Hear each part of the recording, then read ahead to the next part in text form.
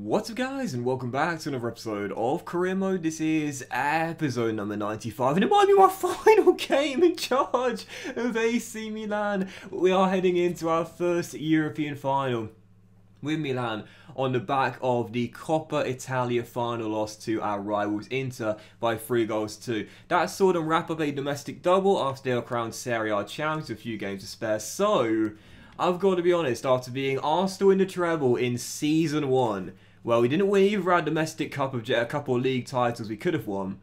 Heading into the Europa League final against Liverpool, with our manager rating dropping to 70. If we don't win this, there is a chance I could be sacked. Now, in the Premier League, as you can see, the Reds finished in 8th place this season. They had a really poor season by their standards. Now, as this is the season finale, I'll do a little bit of a special on Brentford before we end the season off. But yeah, for Liverpool, not a great season uh, domestically this year, despite reaching the Europa League final. And also briefly show you their team uh, right before we get into the Europa League final as well. Now, personally speaking, I, I don't think I will be sacked. I, I don't, I don't know, I should that. I don't think I will be sacked um, if we, where am I going? Where's the Premier League? There it is. I don't think I will be sacked if uh, we don't win the, I'm doing this wrong. This is, how do I just read? Okay. Sorry, I'm all over the place today. Can you tell I'm feeling nervous, guys? I don't think I will be sacked if we lose the game. I still think I'll keep my job, despite the poor managerial rating, despite having a trophy this first season. I think I'll still be here, but I'd say it's 50-50, maybe 60-40 I'll keep my job. I think it's just because it's the first season in charge, and whilst we are a five-star team, again, don't get me wrong, we've undergone a massive rebuild, and whilst the game probably won't take that into consideration, I still feel... Oh, he looks really good. I still... Oh, my word. Okay, I know who I'm going to try and stop in this game. I still feel as though the board will be lenient and give me at least one more year. Having said that, there's no guarantee.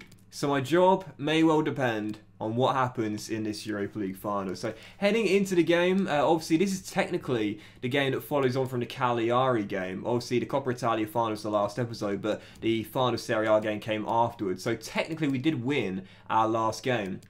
But heading into this one, my side is fully fit, it's fresh, it's raring to go.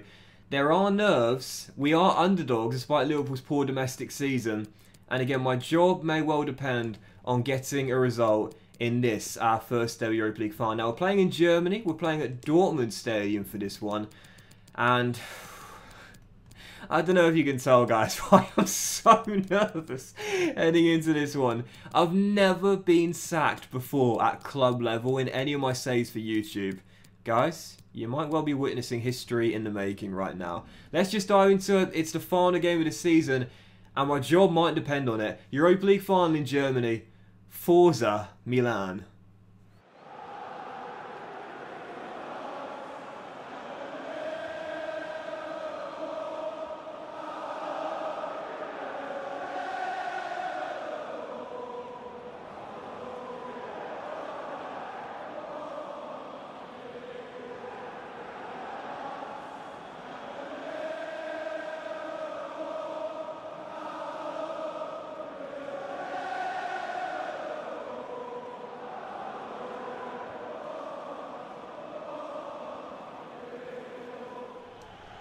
Think I played that badly in the Coppa Italia final. Those two late goals by Gutierrez made the scoreline look a lot more respectable and what I felt was a more fair scoreline. Oh! But I'll need to be better. Defensively, in this game, if we are to come through with a trophy to end the season, I will score tonight. I'll back myself to score. I should have scored there inside the opening five minutes. I'll back myself going forward. It's going to be all about whether I can stay tight defensively. Liverpool's front three is unbelievable. I, I fancy my chances on the offensive end. But defensively, that's where the trophy needs to be won tonight.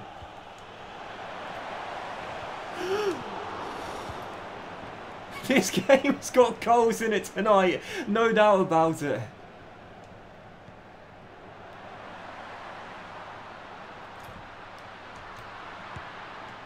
Oh! How is it still nil-nil? Timmermans! Alisson again! Three brilliant saves by the Brazilian. Come on! Tell you what, there's openings in that Liverpool back line, but there's openings in mine as well. And Santos. Oh, no, no, no. Oh, what's it? Oh. Oh. Oh. Tell you what, guys. There is absolutely zero chance this game finishes 0-0. Both back lines are as shaky as Bambi on ice. There are going to be goals and goals and goals tonight, no doubt about it. It's that lad Volk who I'm most concerned about. They've got a great front three, Liverpool, but it's it's that young new gen slash regen Volk. He he looked unbelievable pre-game, and I think Liverpool are just looking for him at the moment. And why wouldn't they, considering his range of stats? that was very risky, considering how bad I am at defending to do that. But it has led to a chance on the break here.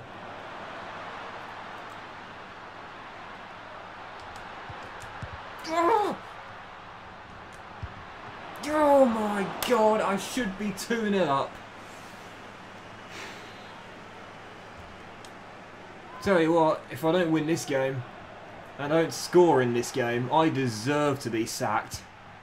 Timmermans well off target. Come on. Unbelievable. Timmermans has taken six shots in just over 20 minutes. This is mental. I must have had about nine in this opening half an hour alone.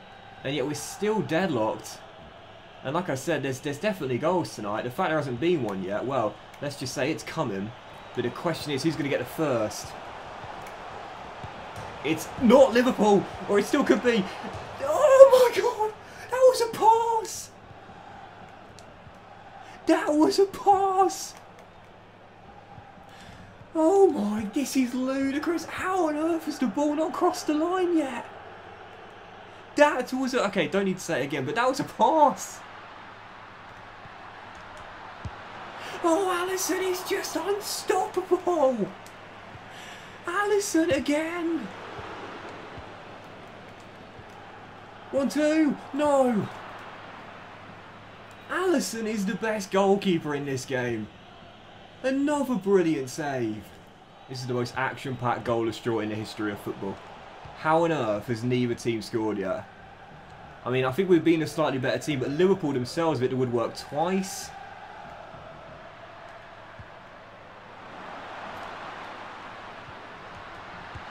Oh my god! Alisson! You know, I'm playing like my job depends on us winning this game. Alisson is playing like his life depends on winning this game. This is ludicrous. Three minutes to go, and I'm, I'm, I'm trying not to get angry. But I'm very close to losing my discipline here. Because we should be 2 or 3 nil up. But I can see Liverpool going ahead against a run of play before the break. It's a glorious little 1-2. That's a big tackle by Theo, and we'll get the danger away. With Keane. And Rob. That's a great first touch. Roberto!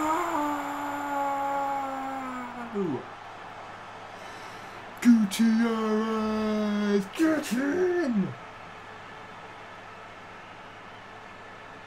It's a brilliant run from Keane.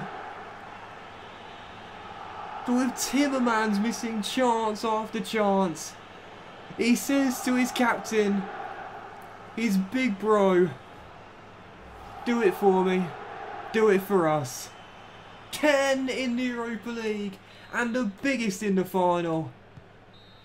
With virtually the final kick of what has been the most action-packed first half of Europa League final ever. Milan in front, deservedly so. But if you think this game is done, think again. There's more goals in this one, and you can back that for sure. Oh, what a half. It's a great ball. That's a brilliant ball. Oh.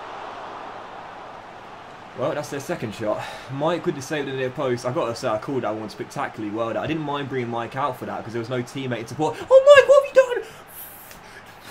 He's the most eccentric goalkeeper I've used in this year's FIFA. Why would you come for that and just stand there? I didn't call him out for that one. I didn't press triangle for that. Oh, where's the ball? Can we just end the game now, please. I can't take this. Uh, it's just over 25 minutes to go, we're still leading by one here in Germany, but after that indecisiveness from Mike on the corner, after making a great save initially, I really don't know what to do right now because I'm, I'm trying to conserve energy a little bit, just calm it down because this game's been played at 100 million miles an hour.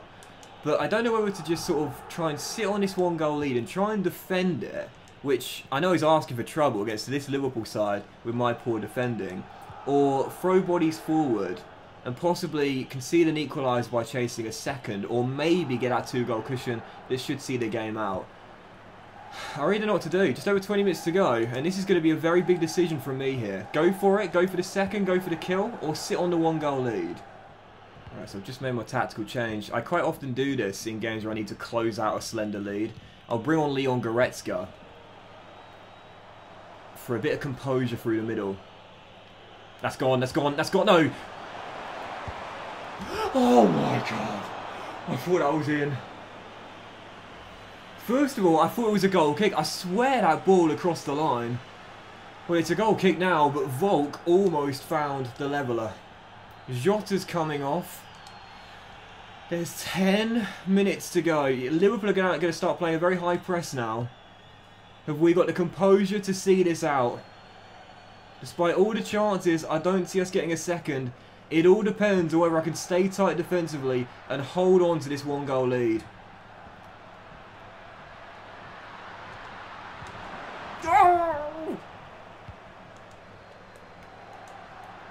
Who's let Kermit into the room? no! Oh no! Oh god, no. Really scattered at the back. Positioning sense, we've got none of it at the moment. That's big from Kabak. Oh, hello. Hello. This is the moment. This is the chance. No, I didn't. I went to the wrong man. This is end to end. Kabak, don't dive in. Don't dive in. Oh no, I should have dived in. Oh, Fernandez coming out of nowhere for the tackle. Do not pass the ball back to Mike. That's more like it. I can't break. I can't pause. I've won the Europa League!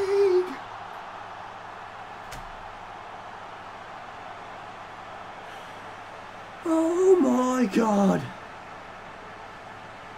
This will forever go down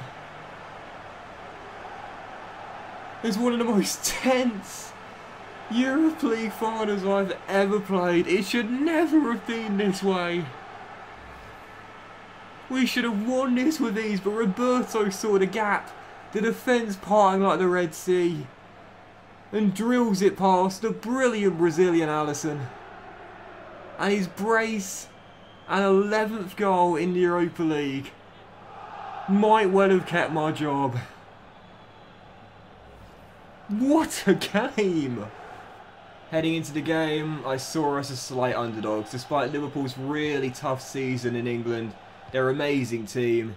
With the pressure on my shoulders, I, I really thought this could go either way tonight. Instead, we turned up in Germany with a dominant display.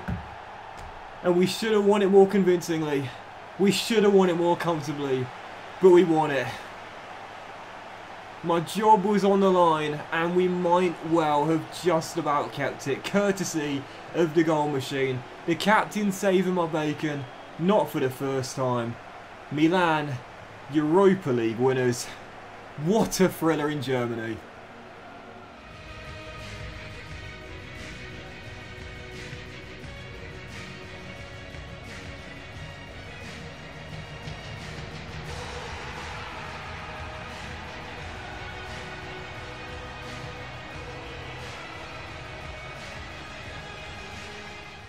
I've said it before and I'll say it again against the AI on Ultimate in this FIFA. Good is not good enough. You have to be great and better than good. We definitely deserved a win, there's no doubt about that. We had a far superior side. Liverpool did have their chances though. It would work twice in the first half, one of which from a pass, which almost snuck in.